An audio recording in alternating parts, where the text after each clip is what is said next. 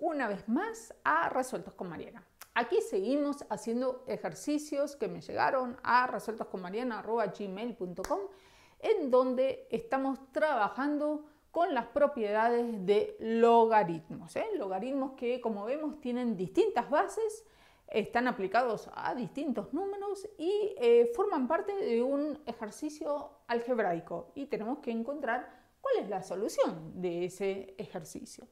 Entonces, como dijimos en otros vídeos, la propiedad principal que estamos aplicando en estos ejercicios es que el logaritmo de base b aplicado a un número a nos da c y la propiedad es que esa base b elevado a la c nos da como resultado el número a. Entonces, aplicando esa propiedad vamos a resolver este ejercicio.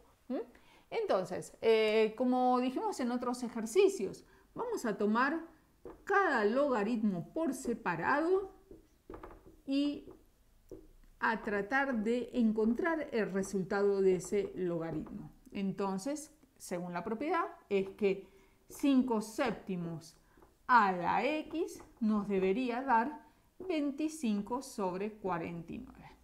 Y aquí viene el tema, un tip que yo les había dado, siempre les doy en estos tipos de ejercicios, es que traten de los números que aparecen en ambos miembros del ejercicio, traten de llevarlo a la misma base, un número base, que generalmente es un número primo, y con un exponente. O sea, ¿a qué me refiero? El 5 es un número primo, no lo puedo seguir descomponiendo, factorizando. Entonces el 5 va a quedar igualito. Lo mismo pasa con el 7. Es un número primo, cuando yo lo factorizo, intento factorizar, es nada más divisible por 7 y me da 1. Esos son los números primos. Pero ¿qué pasa con el 25 y el 49? El 25, yo cuando lo descompongo, es divisible por 5, 25 dividido 5 me da 5, 5 dividido 5 me da 1. Entonces 25 sabemos que es 5 al cuadrado. Y lo mismo va a pasar con el 49 que va a ser 7 al cuadrado. O sea, el 49 cuando lo divido es por 7, me da 7, 7 y 1. Entonces el 49, el 25 yo lo puedo escribir como 5 al cuadrado y el 49 como 7 al cuadrado. Muy bien. Y ahora, en estos temas también tienen que dominar, como siempre les digo, las propiedades de exponentes. O sea, aquí yo tengo el 5 al cuadrado y el 7 al cuadrado. Entonces, eh, yo puedo como sacar factor común, digámoslo, en la potencia cuadrada. Entonces yo puedo poner 5 séptimos todo al cuadrado. Y ahora, cuando ya no puedo hacer nada, comparo esta parte con esta. Entonces yo tengo que 5 séptimos todo a la x es igual a 5 séptimos todo al cuadrado. Entonces, como estas bases son iguales, que es el 5 séptimos, comparo las potencias. Entonces yo digo que eh, no me queda otra que decir que x es igual a 2. Y aquí en este ejercicio ya llegué a la solución de este logaritmo. Recuerden que el x era la solución de este logaritmo. Entonces, ¿qué pasa? Yo digo que este primer logaritmo, hasta acá, sin el 4, ¿eh? todavía no hice nada con el 4, me queda que es igual a 2. Muy bien. Ahora vamos a resolver, aplicar las mismas propiedades para llegar a la solución de ese segundo logaritmo. Borro y seguimos. Seguimos con la segunda, eh, el segundo término, el segundo logaritmo. Entonces lo mismo, aplico la propiedad y yo digo que 2 quintos, que es la base de mi logaritmo, a la solución que es x, eso me debería dar 8 sobre 125.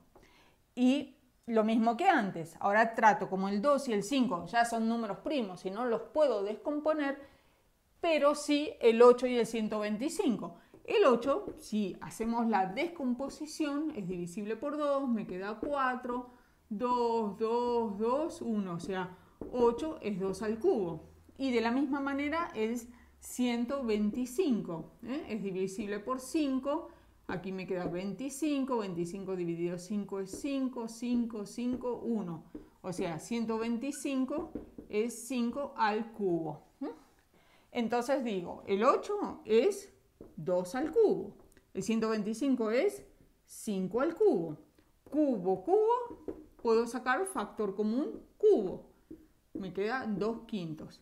Y ahora comparo esta parte con esta, porque me quedado 2 quintos a la x, 2 quintos a la x igual a 2 quintos al cubo. Entonces, como aquí yo tengo 2 quintos y tengo 2 quintos, que era el tip que yo les decía, traten de que tengan la misma base en los exponentes, entonces igualo esto, x va a ser igual a 3. ¿Qué quiere decir? x, que era la solución de este logaritmo, es 3. Entonces todo esto vale 3.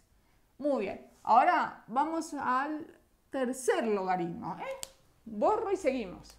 Entonces vamos a resolver el logaritmo base 6 séptimos del número 216 dividido 343 que nos va a dar cierto x de resultado. Aplico la misma propiedad, entonces yo digo 6 séptimos a la resultado me va a dar, me tiene que dar este número 216 sobre 343. Y ahora viene la descomposición del eh, número 216. 216 nosotros eh, lo podemos em, descomponer? En eh, el número 2, ¿no? Eh, se puede factorizar por 2. Entonces aquí me queda 1, 0, 8. Sigo simplificando por 2, ¿eh? dividiendo por 2 o factorizando por 2, es lo mismo, me queda 54. 54 sigo por 2, la mitad de 5 es 2, me sobra 1, me queda 7. Muy bien. Y aquí yo tengo 27, que ya no es divisible por 2. ¿Es divisible por 3? Sí, muy bien. 27 dividido 3 me queda 9. 9 dividido 3 me queda 3, 3, 1. ¿Qué quiere decir? Que el número 216 es igual a qué? A 2, 1, 2, 3 al cubo por 3 al 1, 2, 3 al cubo. ¿eh? O sea, lo pueden dejar así o pueden poner que es 2 por 3 todo al cubo o 6 al cubo. Cualquiera sirve. ¿Cuál voy a usar? O sea, yo aquí tengo un 6, entonces me conviene usar esto. O la otra es que este 6 lo descompongan en 2 por 3 y me quedaría esto. Es lo mismo. ¿eh? Vamos a usar este para que sea más corto, más fácil. Entonces, número 216 yo lo puedo escribir como 6 al cubo. Muy bien, vayamos al 343. El 343, si ustedes hacen las cuentas, se van a dar cuenta que es divisible por 7. Y si hacemos el 343 dividido 7, les va a dar 49. 49 dividido 7 les da 7, 7, 1. O sea, 343 sabemos que es 7 al cubo. 1, 2, 3. Entonces 343 pongo que es 7 al cubo. Como ambos son al cubo, puedo sacar factor común, el cubo, y me queda esto. Y ahora comparo esto con esto. Entonces me queda 6 séptimos todo al, a la x, me queda que es 6 séptimos todo al cubo como acá yo tengo 6, séptimos y acá yo tengo 6 séptimos, puedo directamente comparar los exponentes. Entonces me queda que x es igual a 3. ¿Vieron qué fácil? Siempre en estos ejercicios del logaritmo ustedes van a poder hacer todo esto. Porque eh, la idea de los ejercicios del logaritmo es aplicar esa propiedad. Así que tengan en cuenta que sí se va a poder hacer. Entonces el resultado del tercer logaritmo es 3. Esto también casualmente nos dio 3. Muy bien, vamos a borrar ahora eh, la pizarra y eh, vamos a resolver ahora el ejercicio algebraicamente, olvidándonos del logaritmo, porque ya resolvimos toda la parte de logaritmos.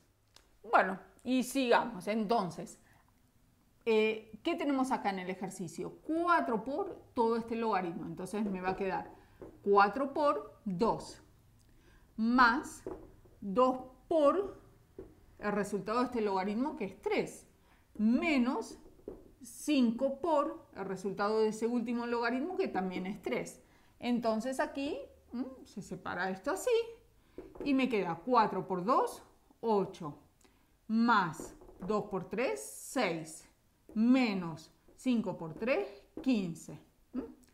Y aquí yo tengo 8 más 6 es 14, 14 menos 15 me queda menos 1. Entonces ahí ya llegué por fin a la solución de todo ese ejercicio algebraico con tres logaritmos, cada uno con distintas bases. ¿eh? Bueno, vieron que es simplemente aplicar la propiedad que dijimos ahí al principio. Eh, este tipo de ejercicios em, es muy usado cuando se estudia em, eh, logaritmos, porque como les digo, siempre es aplicar esa propiedad y bueno, les aconsejo que miren los otros que estoy subiendo con estos ejercicios. Son ejercicios que me llegó a resueltoscomariana.gmail.com de una seguidora eh, a nivel universitario, así que son buenos que, que, los vean, los practiquen. Cualquier cosa me escriben en comentarios si no entendieron algo o si tienen otro de logaritmos por ahí dando vueltas que se les está complicando resolver. Los espero en un próximo video. Chao, chao.